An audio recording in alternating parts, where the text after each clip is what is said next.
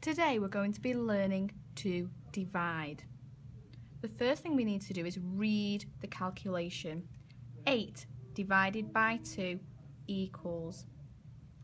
Once we've done that, we need to make the first number. The first number is 8, so we're going to make it using counters. 1, 2, 3, 4, 5,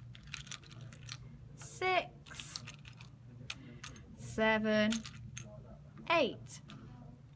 Once we've used our careful counting, we've got eight counters, we've made the first number, we then have to share it out equally by two. And I've got my two circles here to help me.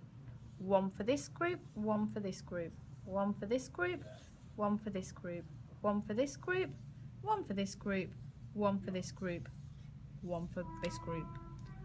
Once we've shared them out equally, we then need to count just one group, one of those two groups. One, two, three, four. That is your answer. So 8 divided by 2 equals 4. And that's how you divide.